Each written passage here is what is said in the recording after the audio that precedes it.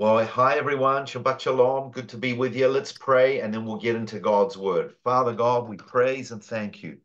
Thank you for your word. We are reminded. Psalm 119, 105. Your word is a lamp to our feet and a light to our path. And it's so true, Lord. And we need it in this time of darkness and this time of uncertainty.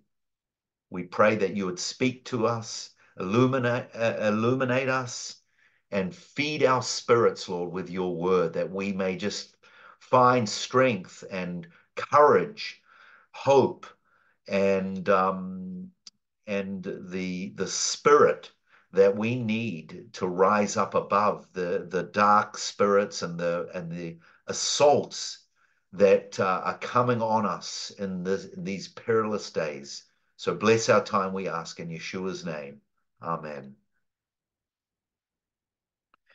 Amen. Well, we are up to Exodus chapter 10, and uh, I don't think it's in our notes, but the title of the study that I've chosen for today is God is for us. God is for us. Because quite often, if you look in the scriptures at the stories and the battles that the Israelites go through, God is not really on the ground walking with feet and fighting with his hands. We know as we look back on the stories that he's with us. He's always been with us. And, uh, but when you go through trials, often he's silent or hidden. And, uh, and that makes it uh, a challenge for us because, you know, we, we walk by faith. It's all about walking by faith. It's like walking on water and uh, and it's a vulnerable walk that we walk. This story of the Exodus coming out of Egypt, and we're right at the climax where Moses is inv involved in spiritual warfare. we talked about that last week. Um, the magicians, they also did miracles, and their staffs turned into snakes as well and the hardening of Pharaoh's heart and all of that. And um, so, you know, and then all, all the house of Israel turned on Moses. You know, think about him. And of course, we read the story. God was speaking to him time and time again go, do this. And he was obeying, but it got worse and worse and worse for Moses. So it's not an easy walk. Uh, uh, obeying and following the Lord by any means. And for us, it's such a help studying these stories, feeding on these stories, because they apply to our life's battles as well. So today, a reminder to us that God is for us. Now, in Exodus chapter 10, we start at verse one, a really interesting verse. And this time a year ago, I brought out a really important uh, point that English makes a huge mistake. Read chapter 10, verse 1. And the Lord said to Moses, Go in unto Pharaoh, for I have hardened his heart and the heart of his servants, that I might show these my signs in the midst of them. So you'll read it says that the Lord said to Moses, Go to Pharaoh. Well, guess what, everyone? The Hebrew word is not go.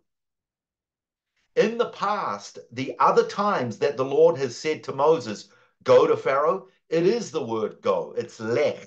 It's the same word that God said to Abraham, Get out of your country, go. But here, it's a totally different word. It's not the word go. It's the word in Hebrew, bo. It's the word come. Come to Moses. So what's the difference between go and come, everyone? So most of the ancient rabbis and sages, they would say the big difference is that now God is going as well. And the Lord is saying to Moses, you're not going by yourself this time. You're coming with me. come with me. Guys, now God has decided he is going with Moses. So look out, Pharaoh, when the Lord turns up. And this is a really important point. I, you may think, okay, what's the big deal? It's such a small, insignificant thing. No, it's not. Because here's the point Pharaoh has hardened his heart time and time and time again. Guess what? The same thing that I was talking about before the Bible study. We have said to Hezbollah, don't attack us. Don't test our patience. And they have hardened their heart. They have kept on firing missiles at us. So guess what we're going to do? It looks like we're going. Now, I'm not comparing and saying God is going with us, but I'm going to tell you that our, our uh, prime minister, our defense minister, our chief of staff, they have said, you've seen what we've done to the Gaza Strip. We will do the same to South Lebanon if you don't stop. So there comes a time when God, he gives grace. He gives grace. He gave grace to, to Pharaoh time and time again. And Pharaoh kept on hardening his heart. And we're going to talk about what that means, hardening his heart. And now God is saying to Moses, not go, but bo in Hebrew, which means come. Come with me. I'm going. I want you to come with me. So I wonder how Moses felt when he heard the change in the invitation. Instead of go, go alone, which is in itself is a scary thing to go. Uh, and, and remember who Pharaoh was. He was the he was God's representative on the on the earth in the culture of that day. But now, when when God slips in that word, come, wow! I wonder how empowered that uh, that um, made Moses feel. I'm not going alone. God is not only God is going with me. I'm going with God, and we've talked about this in the past weeks. Remember the um, remember the, the that concept in the Bible. Sometimes God says, uh, "Follow me." Sometimes He says, "Walk with me," and other times He says to Abraham, "Walk before me." And up until now, Moses has been walking before the Lord. He's been the sent one, but now he's going with the Lord, and uh, this is. Uh, you know, I feel sorry for for uh, Pharaoh right now, but on the other hand, I don't feel sorry for him. He had chance after chance after chance. And um, now, by the way, if you go to verse, uh, the middle of page one in your notes, Exodus 10, verse 3, and Moses and Aaron came into Pharaoh and said, Thus says the Lord God of the Hebrews, how long will you refuse to humble yourself before me. Let my people go that they may serve me. It seems that that was the problem that Pharaoh had, humbling himself. Now, why was that such a problem? Because, by the way, uh, during this passage, uh, Pharaoh actually makes a declaration. He says, I have sinned right now we've come to about nine plagues.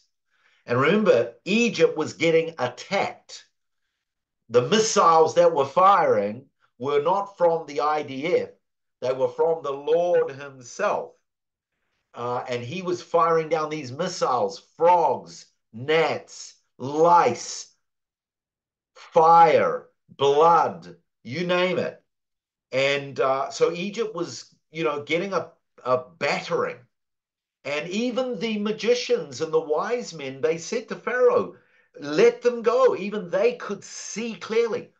But why was Pharaoh struggling, uh, humbling himself here? Well, how bad would it have looked if he had said to these group of slaves, in the eyes of all of his wise men, in the eyes of all of his military leaders, in the eyes of all of the surrounding nations that paid tribute to Egypt. Remember, they were the superpower of the world. How bad would that have looked? Him letting a group of Hebrew slaves uh, get get the uh, diplomatic uh, uh, uh, brownie points over on the you know the, the king of Egypt and the king of the world at the time. So his he, his pride and um, and that was the accusation that Moses and Aaron came and said, "Thus says the Lord God of Hebrews, how long will you refuse to humble yourself before me? Let my people go, that they may serve me." And we could we could uh, study pride uh, for a long time, but just a few things that why do people why do people dig their heels and what's really behind pride? There can be so many things. Sometimes, um, you know, like I've just tried to paint the picture, what other people will think of me if I humble myself. I will lose face in the eyes of other people. And it's not an easy thing for some people to do to let go of something. Other people's ma- people manifest uh, things like bitterness or unforgiveness, or they have a victim mentality, um, and that is a form of a pride. Instead of letting go, I'm sure there's at least some of us here who have at least one member of their family whether it's a, a direct member or whether it's an extended member of a family, that there is a interpersonal conflict going on with that person. And maybe we're the guilty one, actually. And pride is a tough one to overcome, you know, to let go of the offense or to let go of what happened. Um, it's not an easy thing and and and it, it's a it's a painful thing, even the thought of letting that go. But I believe this is higher ground that that uh, we are called. And after all, this is what God's mercy is when He forgives us. He has the high ground, and the cross is all about uh, forgiveness and mercy. And um, so just something to think about, and we can maybe probe that deeper a little bit later. But Moses and Aaron are faced here with someone that will not harden their hearts. And of course, that leads us to the question how do we handle someone in the same uh, situation? Um, or, or what about when the Lord Himself desensitizes people's hearts. See, here's the thing, everyone. That phrase, Pharaoh hardened his heart, that's mentioned, but there are other cases where it mentions that God hardened the heart of Pharaoh. So, what is it? Is it Pharaoh hardening his heart? Or is it God hardening the heart of Pharaoh? And the best interpretation I've heard of that, uh, I've heard of, is that the person, they are responsible. It's not God. But when they carry on the same path and they keep hardening and they keep hardening and they get warning after warning after warning, signs from heaven, attacks on their health, attack on here, attack on there. You know, isn't God saying something? And they keep doing it. Then the Lord, He gives that person over to the hardening of their heart. And so, in a literary sense, God is hardening that person's heart. He's giving them over. Or to use different terminology, Paul says this in Romans chapter 1 at the end of the bottom of page one in your notes. The wrath of God. This is what Paul said 2,000 years ago, everyone. The wrath of God is being revealed from heaven against all the ungodliness or godlessness and wickedness of people who suppress the truth by their wickedness, since what may be known about God is plain to them, because God has made it plain to them. For since the creation of the world, God's invisible qualities, his eternal power and divine nature have been clearly seen, being understood from what has been made, so that people are without excuse. For although they knew God, they neither glorified him as God nor gave thanks to him, but their thinking became futile and their foolish hearts were darkened. Although they claimed to be wise, they became fools and exchanged the glory of the immortal God for images made to look like a mortal human being and birds and animals and reptiles. Here we go, verse 24. Therefore, God gave them over in the sinful desires of their hearts to sexual impurity for the degrading of their bodies with one another. They exchanged the truth about God for a lie and worshipped and served created things rather than the Creator, who is forever praised. Amen. Because of this, here's the second time, God gave them over to shameful lusts. Even their women exchanged natural sexual relations for unnatural ones. In the same way, the men also abandoned natural relations with women and were inflamed with lust for one another. Men committed shameful acts with other men and received in themselves the due penalty for their error. Furthermore, just as they did not think it worthwhile to retain the knowledge of God, here's the third time, so God gave them over to a depraved mind, so that they do what ought not to be done. They have become filled with every kind of wickedness, evil, greed, and depravity. They are full of envy, murder, strife, deceit, and malice. They are gossips, slanderers, God haters, insolent, arrogant, and boastful. They invent ways of doing evil. Sounds to me like Hamas. They disobey their parents. They have no understanding, no fidelity, no love, no mercy. Although they know God's righteous decree that those who do such things deserve death, they not only continue to do these very things, but also approve of those who practice them. Sounds like the United Nations. So that's that was written 2000 years ago what interesting insight paul had obviously he he had done a bit of historical uh, uh, history uh, uh study maybe he was referring to the time of Noah.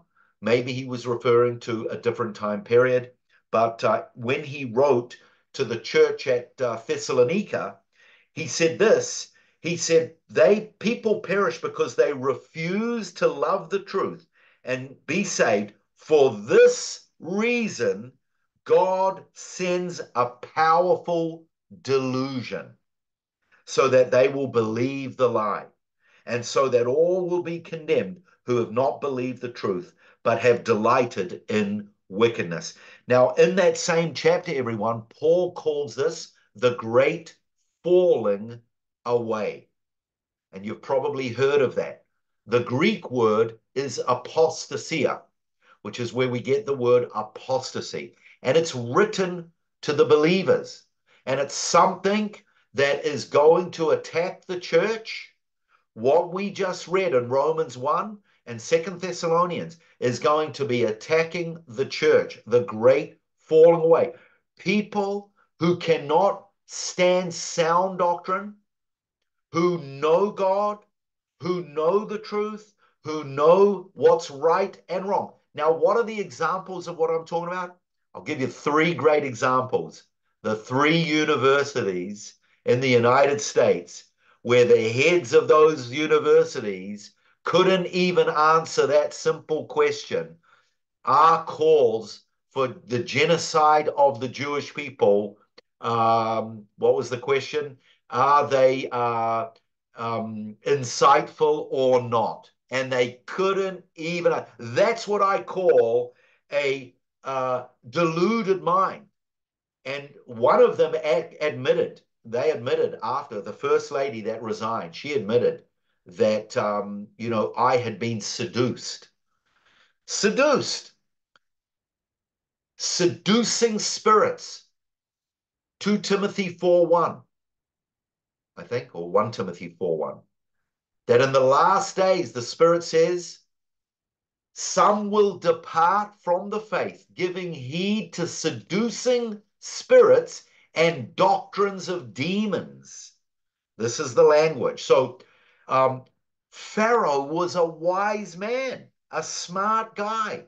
The wisdom of the Egyptians. You, you didn't become the superpower of the world, the leader of that superpower, by being stupid.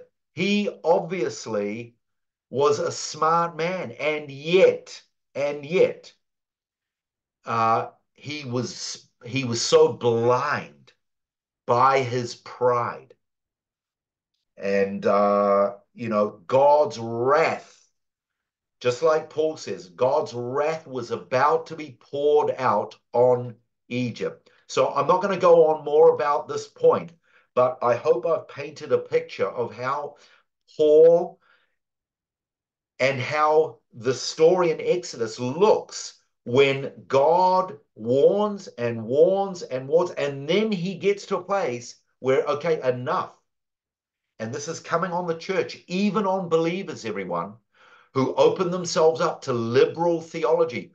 Be careful, because the enemy, he it doesn't happen overnight that we wake up and we realize, you know what, I want to be a woman if you're a man. It doesn't happen overnight. Usually it's it, you know, things like that, they play on your mind. Or I don't know if I believe in the resurrection of Jesus anymore. These are liberal theologians. People usually they play around with it. They wrestle with these things, and there's nothing wrong with wrestling. I mean, when when you get a, a, a when you get these thoughts, uh, sometimes they're from the devil. So it's not like we need to feel guilty about that. It's what we do with it, and that's what it says in Second Corinthians. Uh, it says we are to cast down every thought and imagination and bring it to the obedience of Christ and to his word. We've got to, if we're not sure, we've got to keep coming, coming back to God's word and make sure it lines up with God's word. Uh, you know, I've always felt like I'm a little bit of a woman.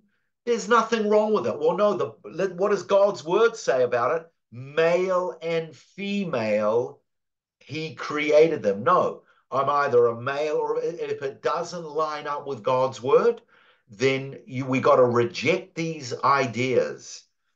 And so this is this is the battle for our minds and the battle for our souls. Now, before the Lord was going to bring the 10th plague, we get to the plague of the locusts. And I, I've singled this out, the top of page 3, chapter 10, verse 14. And the locusts went up over all the land of Egypt and rested on all the coasts of Egypt. Very grievous they were. Before them there were no such locusts as they, neither after them shall be such. For they covered the face of the whole earth, so that the land was darkened. And they did eat every herb of the land, and all the fruit of the trees which the hail had left. And there remained not any green thing in the trees or in the herbs of the field through all the land of Egypt. Egypt is huge. Can you imagine that? Seeing a, an army of locusts. I've only seen it in, in movies. I've never seen it live, but fascinating sight. Verse 16 Then Pharaoh called for Moses and Aaron and he said, I have sinned. Here, here we go. He admits it. I have sinned against the Lord, your God, and against you. Now, therefore, forgive, I pray thee my my sin only this once, only this once, and entreat the Lord your God that he may take away from me this death only. And he went out from Pharaoh and entreated the Lord. By the way, that verse 18, which says about Moses, and he went out from Pharaoh and entreated the Lord. Some of the rabbis interpret that by saying he turned and left. And that's just a interpretation because in those days, um, you didn't turn your back on any leaders. But uh, some of the rabbis think that uh, Moses, this is where the table started to turn because now we have a humbled Pharaoh. Until then, he wouldn't humble himself. Now he's got him at a weak spot. Doesn't really that matter that much. Verse 19. And the Lord turned a mighty strong west wind, which took away the locusts and cast them into the Red Sea. There remained not one locust in all the coasts of Egypt, but the Lord hardened Pharaoh's heart, so that he would not let the children of Israel go. So the real damage that is happening here, everyone, is not just God sending locusts for the sake of sending locusts. Uh, we talked about this the other week when I mentioned that these plagues were an attack on the gods of Egypt. Uh, there was a locust god. When they saw all those locusts, they believed that that was a god. Just like when they saw the sun, that was a god. The Nile, that was a god. Thousands and thousands of gods, like in India. Today, there's over a million gods. Everything is a god. But what in effect is happening here, everyone, is the economy of Egypt is being severely attacked because you've got no green, you've got no produce. Long gone are the days of Joseph where all the barns were stored up. They were the good days. And maybe, maybe when the trees and the shrubs and the plants were being attacked, maybe this Pharaoh, is—he's sitting there looking at it all happening. Remember, the, the narrative of this whole story started. A king rose up who did not know Joseph. And that can be interpreted that he didn't want to know anything about Joseph. He didn't want any emotional connection to what Joseph did, because by now the Hebrews had grown and multiplied. So, in any event, he had hardened his heart, and now his economy. Now, think about it. You've, you've got all those soldiers. They they've got to provide for their families. You've got to give them their salaries, their wages. Uh, you've got to get food and uh, for for the horses um, to carry those chariots. This is a severe attack on the economy of uh, of Egypt. Kind of almost similar to what happened at the beginning of the Russia Ukrainian war. Remember when it first broke out? Overnight, NATO and the Allies put an economic uh, sanction on Russia, and it re- they tried to hit them, hit their economy. Sadly to say, it hasn't really affected them because they have so much reserves, the Russians. In any event, um, just a few uh, interesting insights into locusts, just as a matter of interest, anyone. Locusts were not just um, uh, uh, not just weapons of destruction, locusts actually were used for good things. Uh, they were used for uh, medicine, for the treatment of rheumatism and back pain. They help treat delayed growth in children. If any of you are like me and you're still short, maybe there's hope for us yet. Uh, it's also used as an effective stimulant for sexual needs for the elderly. I'm not going to tell anyone to put their hands up for that one. They are high in protein, zinc, and iron, which are essential for immunity, growth, and health. And they are low in greenhouse gas emissions compared to other animal sources of protein. John the Baptist, remember, that was part of his diet in Matthew 3, verse 4. Now, John himself was clothed in camel's hair with a leather belt around his waist, and his food was locusts and wild honey. That John himself ate of grasshoppers and locusts from time to time is clear. Many Jews, both before and after John and the Essenes, they ate these kind of insects. So, like at the, the community at Qumran, the Essenes. And uh, but what's interesting in these this passage in uh, Matthew three is the absence of some qualification of what kind of locusts John ate or how he ate them, because there are different kinds. There are kosher and unkosher. So Matthew and uh, uh Mark doesn't actually mention what kind of locusts. Just for those that are interested in digging deeper into the scriptures, because um, obviously they didn't really have any intent to speak into the uh, culture of the day in, in, on those issues. Alfred Edersheim states that Thutmose II is the only pharaoh's mummy to display cysts, possible evidence of plagues that spread through the Egyptian and Hittite empires at that time. So it's just a little bit of information about locusts and the importance of them. Uh, we know how destructive they can be, but they were also sold in markets um, as well. So it was a double whammy on Egypt, this particular uh, plague. Now, Pharaoh's heart hardened, but then he softened again. Look what happened in chapter 10, verse 24.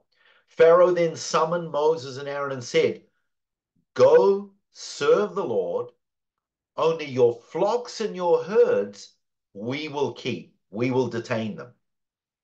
Even your little ones may go with you. Now,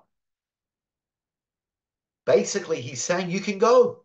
Moses, take your people, take your little ones, but your flocks and your herds, they must remain. Now, before we read the next verse, because there's something, I only saw this yesterday and it just hit me so strong.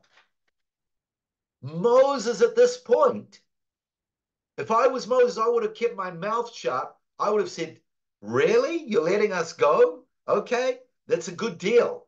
It's a good deal. You keep our cattle, we can go. I like the price of our freedom. But Moses didn't buy that. Look what he said in response. But Moses replied, You also must give us sacrifices and burnt offerings to make to the Lord our God. Our livestock also must go with us. Not an animal must be left behind. For some of them we will select for the service of the Lord our God. But we will not know with which ones are to serve the Lord until we arrive there. Guys, what's going on? Remember, there's no temple in Egypt. There's no tabernacle in Egypt. There's no priesthood in Egypt. Where did Moses get this idea that when they get out of Egypt and they come into the desert, that they have to sacrifice to the Lord? Where did they get it from? Remember, it's 400 years after Joseph and Joseph's father, Jacob, and his grandfather Isaac, and his great grandfather Abraham. We know from the stories that wherever those patriarchs moved around, they built altars unto the Lord and they sacrificed. They called on the name of the Lord. So for 400 years, when they were in Egypt, the Israelites, they must have talked about it. They must have shared it as they were sitting around the fireplaces, playing on their banjos or whatever they played, and uh, their harmonicas but um, they must have had a concept. Look at Moses' response. We've got to use these animals for the service of the Lord. Guys, the point is this Moses was more, it, it wasn't just freedom that concerned him. He could have taken that freedom. It wasn't just freedom, it was the Lord. He was soul hearted soul focused on not just the freedom, but taking God with him. And the idea, he must have learned this from his forefathers. Now, think about it. Moses had this vision of getting out. He saw himself and the Israelites getting out of Egypt without any animals, no altars, no sacrifices, no religion, and it must have concerned him. And the brilliant vision and deep spiritual, or rather, the high spirituality of Moses, to see that in the spirit, the need for these animals, guys, the need for blood. This is a deep spiritual insight that Moses had, and it just blew me away as I was reading this. The the the spirituality of Moses to see this. Guys, it's the same for you and me. We can have our freedom. We can climb the ladders of success in our profession. We can make as much money or fame or whatever. But what good is it if we don't have an altar? If we don't have a place that we draw near to God, if we're not taking God with us, if we don't have a vision for the service of the Lord, that's what it says. Let's read again, verse 26. Our livestock also must go with us. Not an animal must be left behind, for some of them we will select for the service of the Lord our God. He had a vision for a priesthood, a spiritual priesthood bringing us, the priests were to bring us closer to God. That's what all sacrifice is for. Guys, it may sound foolish, like Paul says, the preaching of the cross is to them that perish foolish, but unto us it is the power of God. The altars, the animals, the sacrifices, the blood, this has to be taken with us everywhere we go. That's why I, I don't really like giving credit to the Crusaders. But when they went to battle, they took uh, the, the flag of the cross. And the cross was to remind them of the shed blood. I don't know how I don't know how deep they took that with them, but it was supposed to remind them of the blood of Calvary. And that's why we wear crosses and why churches have crosses to remind us of the need for sacrifice and for blood. So think about that, everyone. Think about what's on the top of your list in your prayer. Is it freedom? Is it the salvation of someone? Is it, uh, you know, a higher pay or whatever? I think Moses, he put the number one thing on his list, not freedom, not freedom, but taking God wherever he went. Now, one other thing about that is he also took with him, because in another passage, uh, it's at, at one stage, uh, I think Pharaoh wouldn't let either the the older or the younger ones. I think he said keep the older ones behind. Correct me if I'm wrong, but uh, he he said not not anyone will be left behind. The young or the old and the importance. Because if we leave the old behind, then we don't have the wisdom of the old ones to carry through to the next generation. And if we leave the young ones behind, then we have no one to carry the flag for the next generation. In fact, in Judaism, whenever they were driven out of one place to another and they would come into a new shtetl or area wherever they came, the two main things, the first two things they looked for or they built when they arrived, number one was a hospital and number two was a school. The hospitals for the sick and the elderly and the schools for the young people, the old and the young. So, whatever camp we're in, guys, we don't leave. And, and I've seen this in churches when pastors, they get a new pastor that comes uh, appointed, and that church is dying. You know what they do sometimes? In order to move on, they think we've got to aim for the young people only and they sacrifice the old people. They say, we've got to move on. And so they throw out all the old hymns, they throw out all the old traditions, and they think they're doing a good idea, only thinking of the young. And I've seen it many times. I was a part of a church. So many old people got so hurt. They'd been at that church for 20, 30, 40, 50 years. It's an old Baptist church in New Zealand. So uh, these takeovers have to be done with a lot of wisdom. We can't leave the elderly behind and we can't leave the young behind. We need wisdom for both. And now, guys, where as we come kind of to the climax of the whole story, we come to the killing of the firstborn son. Nine plagues have struck Egypt, and now the death judgment is coming on Egypt. And this has a negative, the judgment, but it also has the positive because this is where the Israelites are redeemed by the blood of the Lamb. Exodus 12, verse 5, the top of page 5. Your lamb, this is what the Lord is commanding every Israelite home. Your lamb must be a year old and without blemish. You may take it from either the sheep or the goats. You will keep it until the 14th day of this month, and then, with the whole community of Israel assembled, it will be slaughtered during the evening twilight. They will take some of its blood and apply it to the two doorposts and the lintel of the house in which they eat it. They will consume its meat that same night, eating it roasted with unleavened bread and bitter herbs.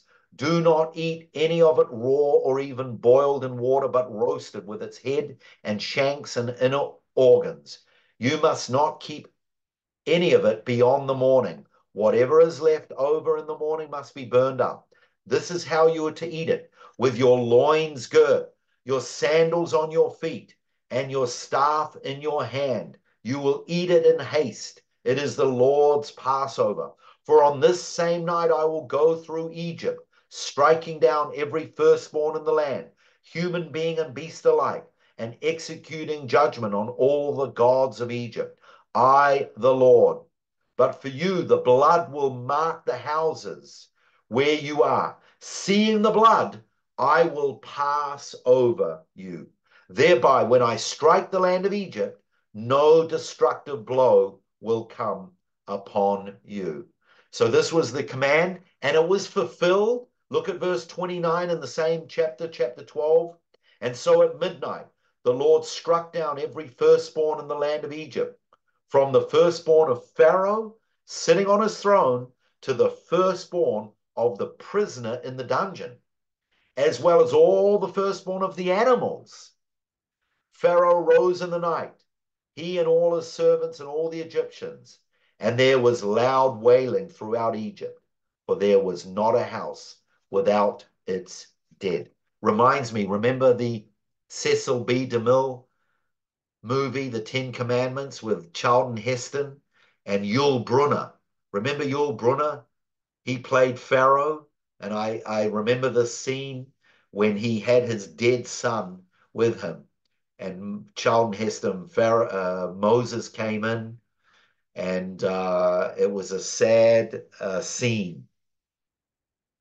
Now, let me bring out the special place of the firstborn in that culture, everyone. The death of the firstborn represents God's righteous judgment on Egypt who would hurt his firstborn. Who was God's firstborn son? It was Israel. Read chapter 4, verse 22. And thou shalt say unto Pharaoh, Thus says the Lord, Israel is my son, even my firstborn. So this was a Pharaoh knew, Pharaoh heard from Moses that Israel was the Almighty Creator's firstborn son. So this, in a way, represents God's righteous judgment on those who would hurt God's firstborn son. Number one. Number two, in biblical times, the firstborn was given certain unique rights responsibilities, and privileges. A married couple's firstborn male child was given priority and preeminence in the family and the best of the inheritance. I'm at the top of page six. People in the ancient cultures attached great value to the eldest son, assigning him distinct benefits and obligations. The firstborn male was important because he was believed to represent the prime of human strength and vitality. Let me say that sentence again. The firstborn male was important because he was believed to represent the prime of human strength and vitality. For example, when Jacob blessed his 12 sons in Genesis 49, verse 3, look what he said to Reuben, who was the firstborn. Reuben, you are my firstborn, my might, the first sign of my strength, excelling in honor, excelling in power. And Psalm 78, 51, he struck down all the firstborn of Egypt, the first fruits of manhood in the tents of Ham. That's an interesting uh, insight that the psalmist had. The firstborn of Egypt. The firstborn son became the primary heir of the family. The firstborn's birthright involved a double portion of the household estate and the leadership of the family. If the father became incapacitated or was absent for some reason. And the other thing about the striking of the firstborn, everyone, is I've mentioned this before. In Egypt, Pharaoh, he was God. He was God to the world and to the people of Egypt. His son was being lined up to be the next God. So this was a strike on another one of Egypt's gods. Now, it wasn't just humans, animals also were told, or rather, the owners were told to hand over the firstborn of the animals as well. Look at uh, a, a passage from Leviticus 27 26. But a firstborn of animals, which as a firstborn belongs to the Lord. No man may dedicate, whether ox or sheep, it is the Lord's. And I think we could discuss a lot about why even animals, as well as humans, why is that firstborn dedicated?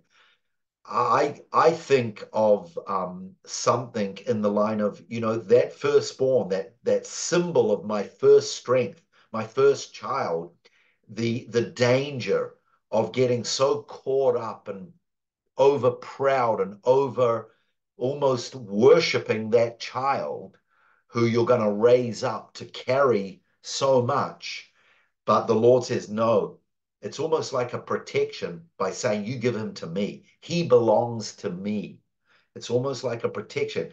And it's like a giving up, giving that person to, and that animal to the Lord. Because the same can happen if you're a farmer and you're dependent economically on your cattle and on your sheep, and you think, hey, I've got my first uh, uh, cow or calf, and uh, it's going to be a good year.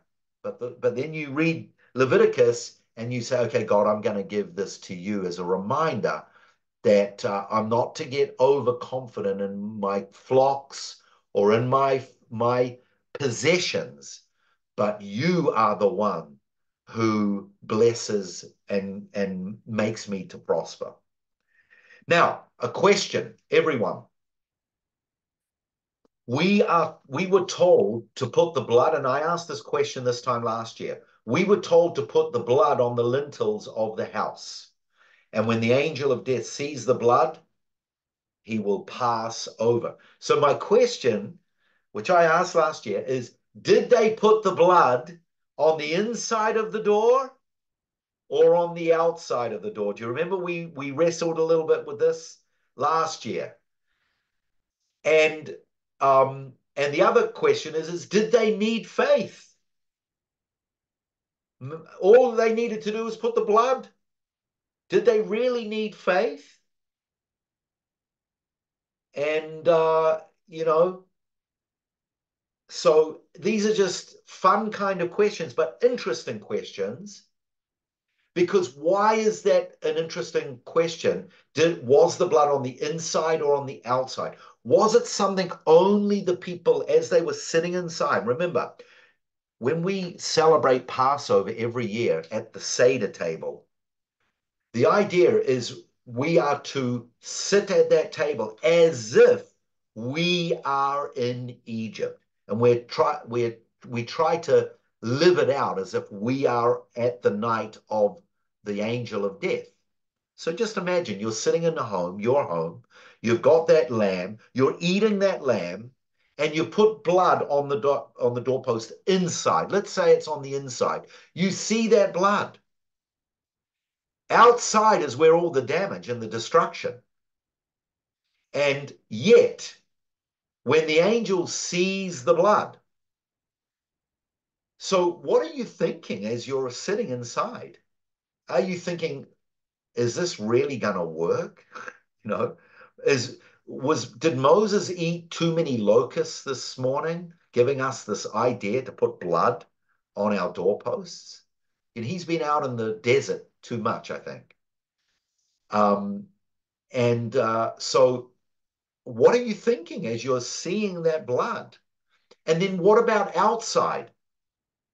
If you put it on the outside, what might you be thinking? You might be thinking, you know, this could be a threat to the Egyptians. Maybe this might anger them. And especially if it works, they're going to know that we put that blood up and that our firstborn were spared. And that might anger them and they may come after us afterward. Kind of almost like putting a cross outside of your house if you live in in uh, in Iran or Iraq or a you know a Muslim nation or a communist nation, whatever. So um, just food for thought, everyone. Think about it. The you're sitting there, and and the whole idea of faith as you're sitting in that home.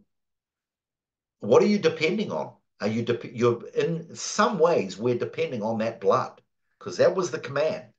Put that blood on your doorposts. So there is a, an element of faith there.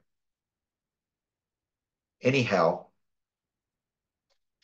when the Lord saw that blood, or rather the angel of death, came and passed over that house. Guys, you know what this is? This is Yeshua. That's the Hebrew word for salvation. This was the moment of Israel's salvation. The firstborn was struck, the firstborn of all those ones that had the blood on the posts, they were saved. And we do this throughout every generation. But we know that there's a greater uh, fulfillment of the story, don't we? And we'll get to that in just a second. But before we get to it, there's something else in the story that I just want to touch on. It wasn't just the blood on the doorpost.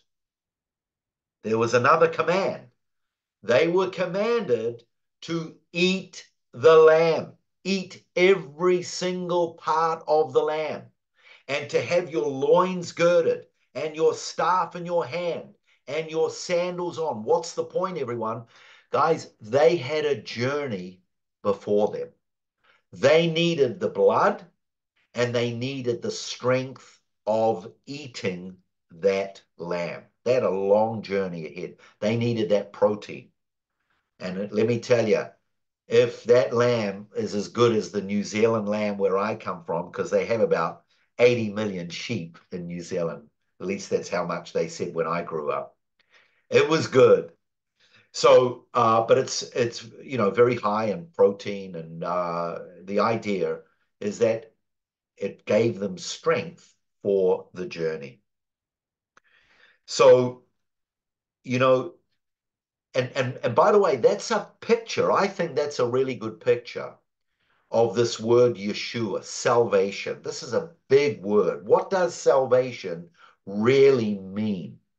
Is it a one, you know, is it a one-off thing for the Israelites that they just put the blood on the posts? No, because they had that journey. They had to go through the wilderness. They had a destination, and that destination was a promise, the, the, the promised land. So salvation, in a way, we know what happened when they got into the wilderness. And we're going to touch on that uh, in the coming weeks and when we get into the book of Numbers.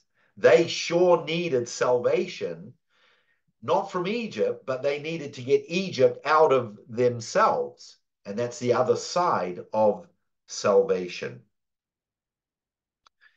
And like I said, this all points to something in the future that actually, on the banks of Jordan, John the Baptist, when he saw this man from Nazareth come into the Jordan River, remember what he said?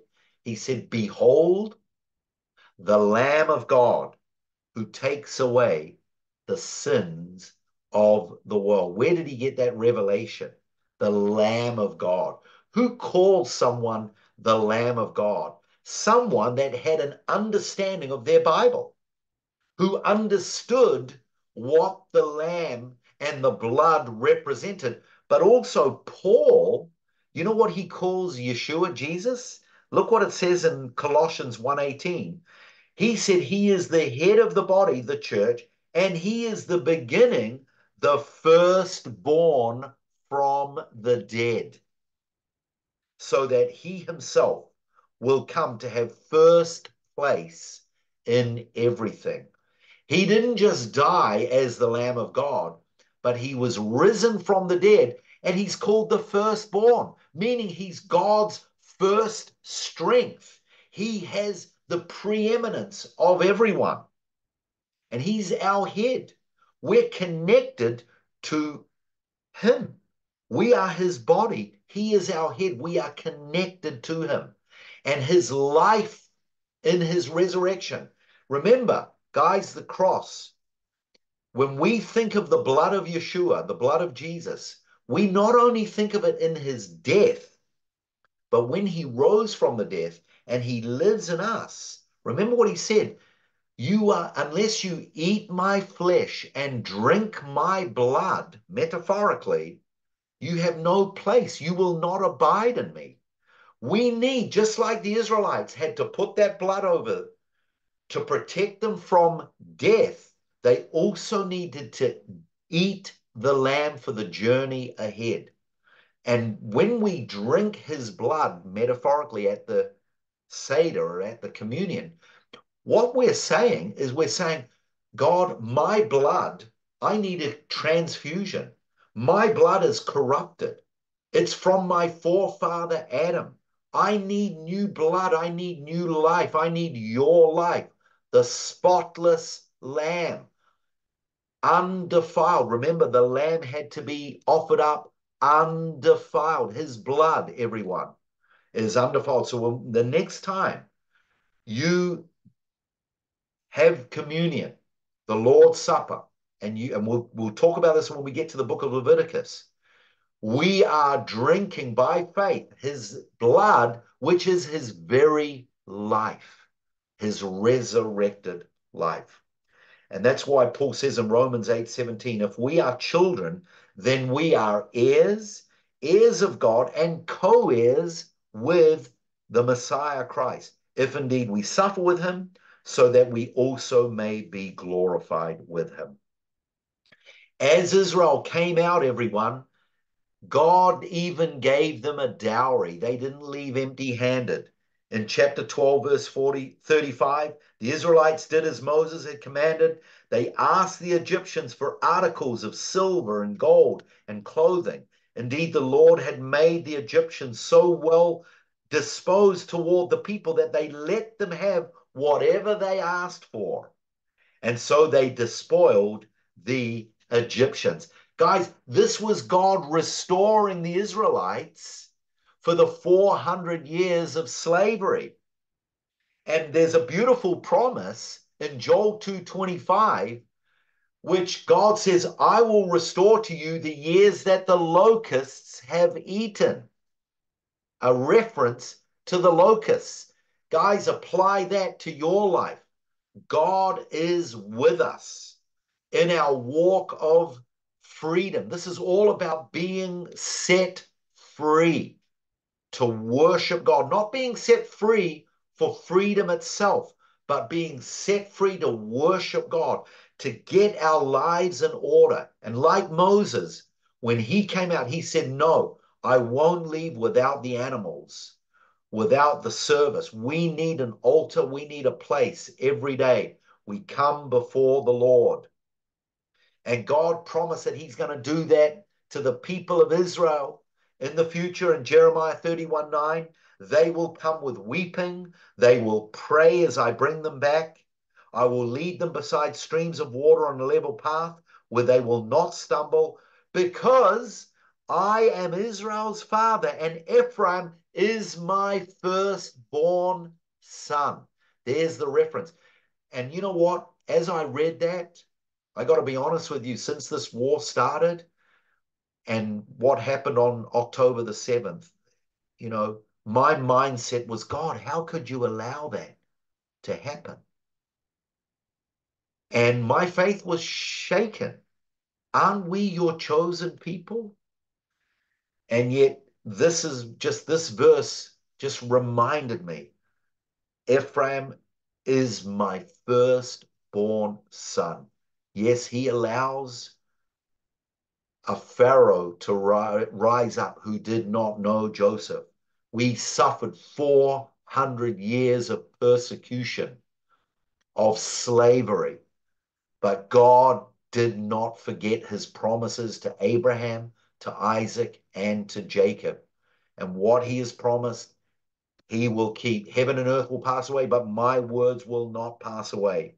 And may all the house of Israel proclaim one, one day that they may know that Yeshua, he is the Lamb of God who takes away the sins of the world. And it's going to happen.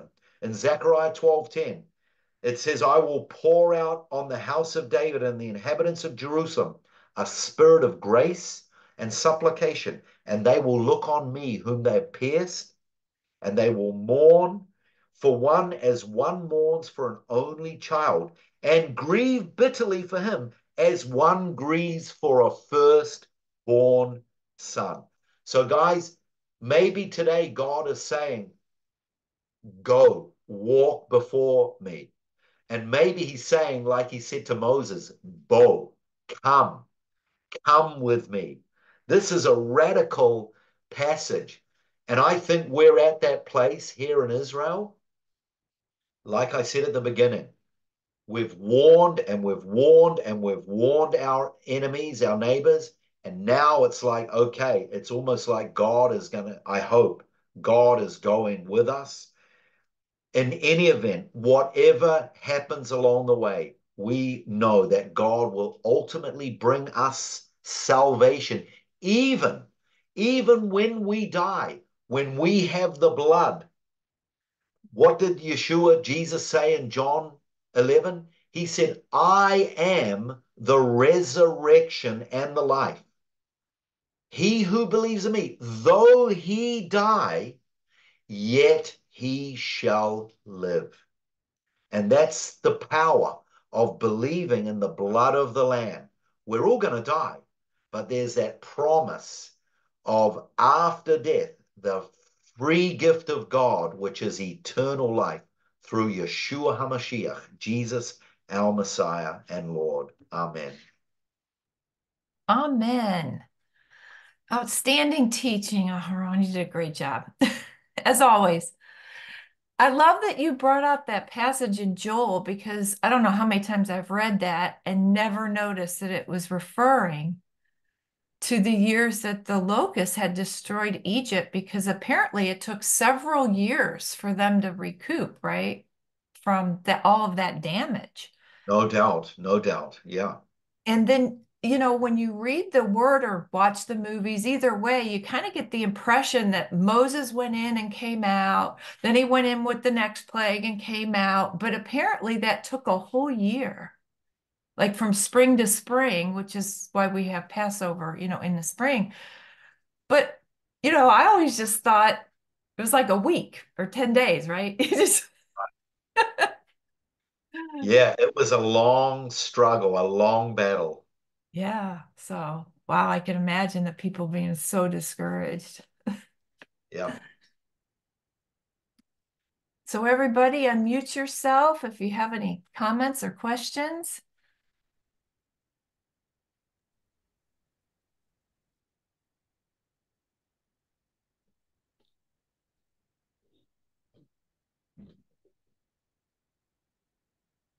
Well, if no one has, that's fine because I know Gary's got something to share. So, Gary. Good teaching. Thanks, Aaron. Thank you. Um, so at the at the conclusion of this parasha, Moses leads the children of Israel out of Egypt, and the Lord gives them the ordinance of the Pesach, of the Passover. Thus the Lord did all he had promised. Not one word that the Lord had spoken was left unfulfilled. Reminding ourselves of this truth helps us also to trust in God's faithfulness, his power, and mercy now in the days to come. Today, the Jewish people still celebrate this miraculous Passover each year. Exodus 12 14 says, So this day shall be to you a memorial. You shall keep it as a feast to the Lord throughout your generations. You shall keep it as a feast by an everlasting ordinances. And that's a that and that's that's a direct command from God.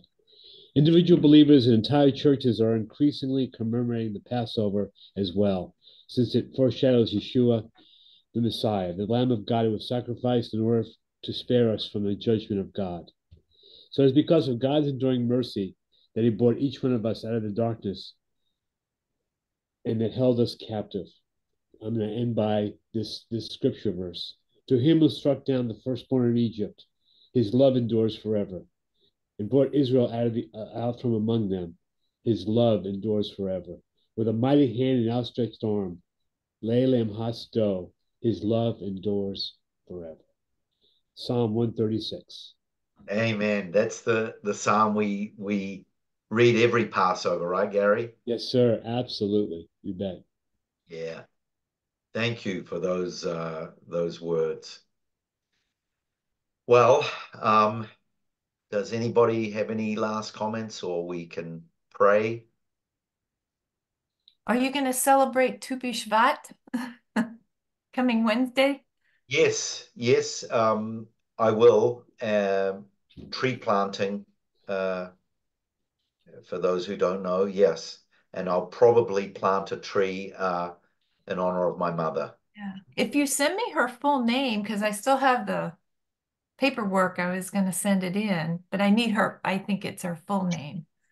It's just Ruth. She didn't have a middle name, strangely. Oh, okay. My just- mother didn't either. Yeah, interesting. A Jewish thing, I guess. No, I know lots of Jewish people have. Oh, most- really? Yeah, Huh. yeah. Anyway, all right. Um, let's pray, everyone. Close off, and then Gary can uh, bless us.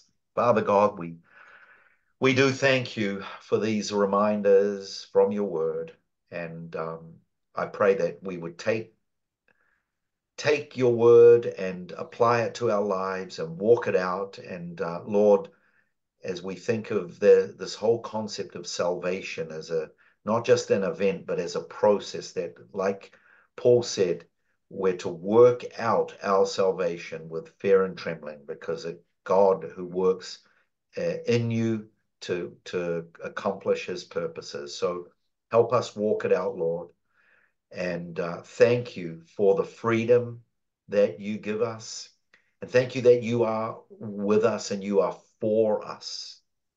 And uh, Lord, even when we go through those uh, struggles and trials, when you say to us, go, uh, and it feels lonely and it feels scary and it feels vulnerable. But Lord, ultimately, you're, you're with us.